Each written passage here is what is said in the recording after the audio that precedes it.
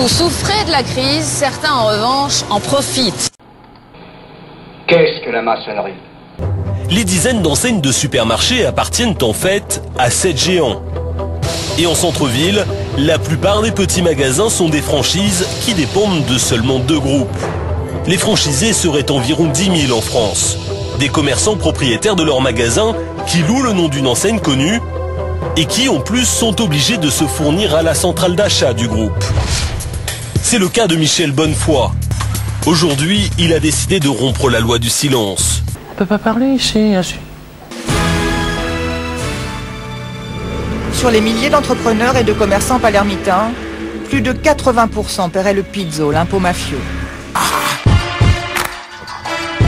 L'intimidation, l'arme absolue du racket. Pour les 500 hommes du colonel Manucci, un combat compliqué. Car ils doivent désormais faire face à un phénomène nouveau, la démocratisation du racket. de dénoncer ce qu'il vit. Car si sur le papier c'est lui le patron, dans les faits, il est obligé d'imposer des prix élevés à ses clients. Bah, les prix d'achat sont imposés par le groupe. hein. Qu'est-ce que la maçonnerie? Des groupes d'hommes. Nos, nos prix de, de vente sont des prix conseillés. Donc sur, sur cette bouteille, par exemple, vous, vous pouvez marger à combien? À peine 1% de, de marge brute. Moi je comprends, non mais je voudrais comprendre. Je veux dire, Et pour le prouver, direction le petit bureau du patron, sur l'ordinateur relié directement à la centrale d'achat du groupe.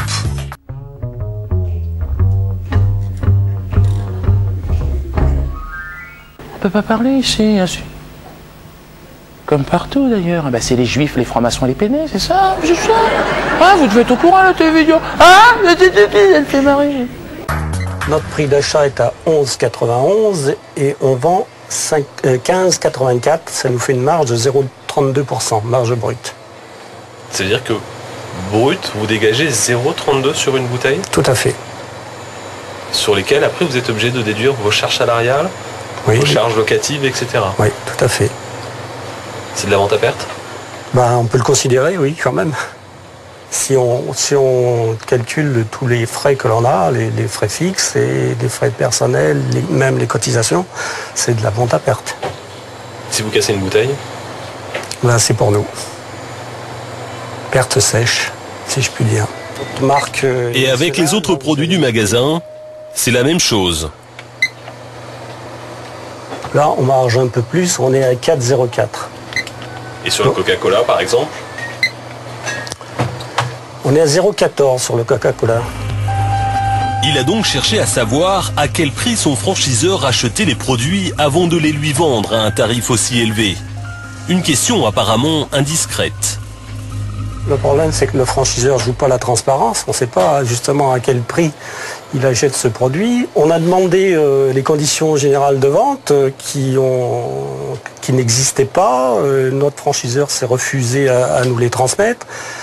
Bon, euh, on m'a signé aussi en, en tribu- au tribunal arbitral pour, pour simplement avoir demandé ces conditions générales de vente. c'est-à-dire que vous leur demandez aujourd'hui combien eux achètent la bouteille de Coca et ils vous disent non, on vous le dira pas et on vous envoie au tribunal arbitral. Voilà, c'est ça, en gros, c'est ça.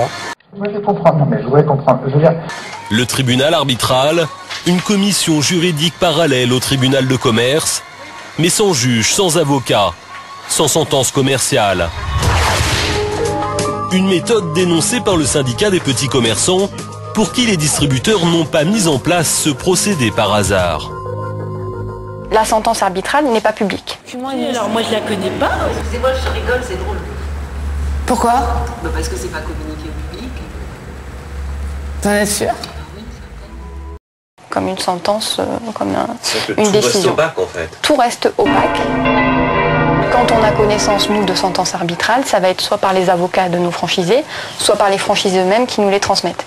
Mais c'est très rare. des clauses de non De non-divulgation, informations. des clauses de confidentialité, bien entendu. Quasiment rien ne sortira de, de ces dossiers. Il y a une espèce de justice parallèle qui empêche euh, de, euh, les tribunaux de commerce de connaître de ces, de ces pratiques.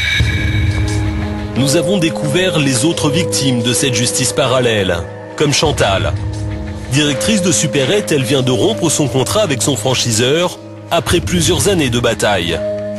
Sa liberté a eu un prix, celui du silence. On peut pas parler ici. Aujourd'hui, elle accepte de témoigner à visage masqué.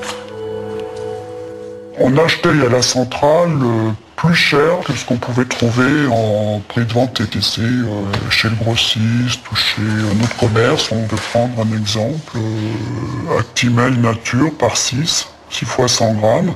Chez le grossiste euh, Métro, on les avait à 1,99 hors taxe. Et notre centrale d'achat nous les fournissait à 2,83 euros. Voilà, soit 42% d'écart. Encore plus étonnant, sur une liste de produits similaires entre son commerce et un hypermarché de même enseigne, situé à quelques kilomètres seulement, les écarts sont vertigineux, presque 40% de différence. Dans ces conditions, son magasin était voué à l'échec. Nous avons travaillé euh, comme des esclaves euh, pour cette enseigne. On est là pour te pomper, t'imposer sans répit et sans repos, pour te sucer ton flouze, ton oseille, ton pognon, ton pèse, ton fric, ton blé, tes économies, tes sous, ton salaire, tes bénéfices, tes bas de laine, tout ce qui traîne. Ce que t'as sué de ton front, on te le sucera jusqu'au fond. Euh, cette enseigne nous a ruinés financièrement, moralement. Les prix imposés par son franchiseur la mettent rapidement dans une situation impossible. Obligé de revendre sa maison pour payer une partie de ses dettes, mais cela ne suffit pas au franchiseur. Il nous réclamait 230 000 euros. Et notre commerce est évalué aujourd'hui à 230 000 euros. Donc euh, c'est le C'est hasard. la stratégie utilisée aujourd'hui de vous ruiner au point de récupérer votre, votre commerce?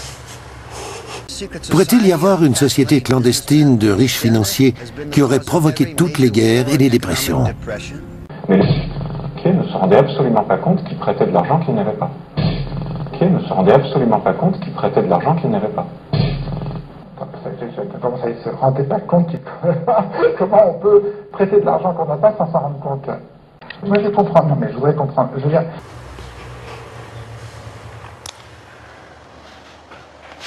En tout cas, euh, c'est un constat personnel. Euh, il y a des expériences qui ont prouvé qu'effectivement les gens avaient tout perdu. Parce que vous n'êtes pas les seuls Nous ne sommes pas les seuls, évidemment. Des cas comme celui de Chantal, il en existerait plusieurs dizaines en France. Nous avons tenté de savoir pour quelles raisons les deux principaux franchiseurs usaient de telles pratiques. Ils n'ont pas souhaité nous répondre.